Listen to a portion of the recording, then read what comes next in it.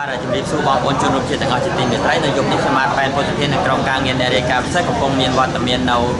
ផ្ទះមេតាហាវផ្ទះមេតាហាវនេះគឺនៅក្នុងទីក្រុងភ្នំពេញនៅទល់មុខសាកលវិទ្យាល័យមានប្រៃមុខមាត់ទន្លេនេះតែម្ដងហើយល្ងាចយើងឃើញថាយុវជនជាច្រើនមានទាំងភ្ញៀវជាតិអន្តរជាតិហើយនិងអ្នកខ្សែផងដែរមកជួបជុំគ្នានៅផ្ទះមេតាហាវនេះដើម្បីទស្សនានៅ ខ្សែភាពយន្តឯកសារហើយរឿងដំបូងនេះគឺនិយាយអំពីយុវជននិងការផ្លាស់ប្ដូរហើយនៅក្នុងនោះក៏យើងឃើញថាមានសមាជិកសភាគណៈបាសង្គមជាតិអ្នកស្រីមួយចំពោះក៏ចូលរួមដែរហើយនៅពេលនេះខ្ញុំនឹងនាំអារម្មណ៍បងប្អូនជួបជាមួយអ្នកស្រីដោយតើបើសុំជ័យ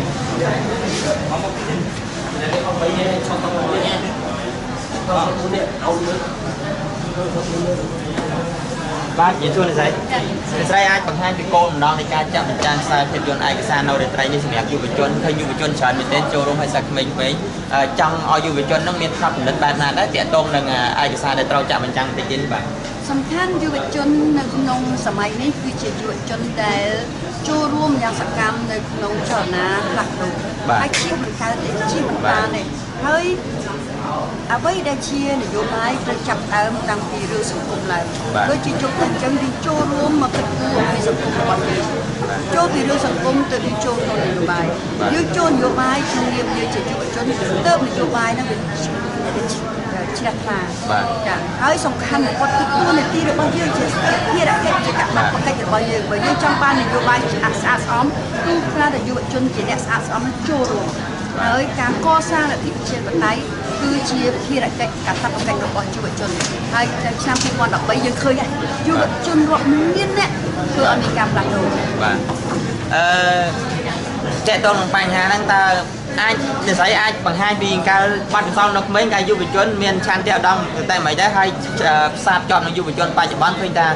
អាណត្តិនេះឃើញថាដូចនិស្ស័យមានភាសាអញ្ចឹងឃើញថាមានការផ្លាស់ប្ដូរហើយគាត់ចូលរួមនយោបាយច្រើនតើប្រទេសយើងថ្ងៃអនាគតអាចដឹងពីអនាគតប្រទេសរបស់ខ្លួនបានទេបើសិនបើយុវជនកាន់តែចូលរួមកាន់តែច្រើនឡើងច្រើនឡើងបាទ ត្រូវតែមានការចូលរួមរបស់យុវជនហើយការផ្លាស់ប្ដូរពេលនេះគឺជាការផ្លាស់ប្ដូរពុទ្ធមុនសម័យពុទ្ធនេះ បាទពេលនេះគឺនិយាយអំពីអ្វីដែលជាការឈឺចាប់របស់យុវជនដូចជាអំពើពុករលួយអយុត្តិធម៌រោគការងារធ្វើការគុណភាពនៃការអប់រំហើយរួមអ្នកដឹកនាំដ៏ស្អាតស្អំនេះគឺជាហើយនឹងរឿងដីធ្លីហើយនឹងស្នេហាជាតិពីរឿងពរណភាពទឹកដីនេះគឺជាបញ្ហាធំ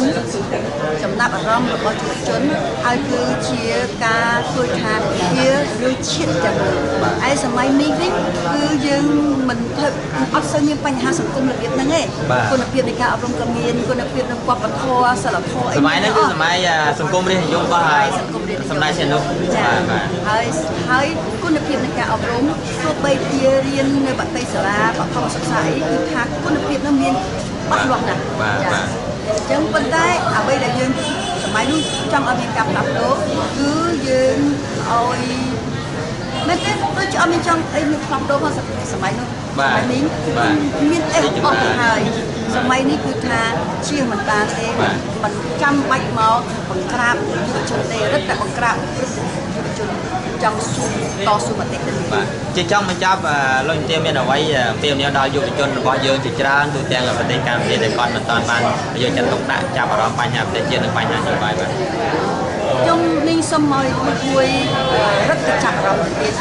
ពីព្រោះថាមួយមួយអត់ចាប់អារម្មណ៍មិនត្រឹមត្រូវមួយមួយរឹតទៅចាប់អារម្មណ៍ទៀតហើយអ្វីដែលជាឱកាសគឺពេលនេះហើយការជឿចិត្តការគំគិតរបស់មួយគឺជាការគិតសម្រាប់ជាតិការជឿចិត្តនេះគឺជាការជឿចិត្តសម្រាប់ជាតិហើយសំខាន់គឺឈានទៅរក អ្វីដែលការកសាងប្រទេសជាតិមួយតាមលទ្ធិប្រជាធិបតេយ្យគឺយល់ចិត្តគ្នាទោះបីជាមិត្តរបស់យើងអត់មានកម្រិតដូចយើងហើយមតិខុសពីយើងមិនមែនជាសត្រូវរបស់យើងទេជាមិត្តរបស់យើងគ្រាន់តែមានកម្រិតខុសគ្នាបន្តិចបន្តួចយើងអាចគាត់មានចូលនៅក្នុងវប្បធម៌នៅក្នុងការចរចាសន្ទនាគ្នាហើយរក្សាវប្បធម៌ហ្នឹងបាទអរគុណច្រើនអ្នកស្រីមួយសួរសូមបញ្ជាក់ផងដែរថាអ្នកស្រីមួយសួរគឺជាសមាជិកសភារបស់គណៈបក្សសង្គមជាតិខេត្តបាត់ដំបងហើយក្នុងជីវិតរបស់អ្នកស្រីតែងតែផ្សារភ្ជាប់ជាមួយនឹងយុវជនហើយនឹងជនរងគ្រោះហើយបន្តិចទៀតនេះយើងនឹងធ្វើសេចក្តីរាយការណ៍ជាបន្តបន្តទាក់ទងនឹងការចាក់បញ្ចាំងឯកសារនៅផ្ទះមេតាហាវនេះដូច្នេះនៅពេលនេះខ្ញុំបាទប៉ែនពុទ្ធិភេទធ្វើសេចក្តីរាយការណ៍ពីផ្ទះមេតាហាវរាជធានីភ្នំពេញ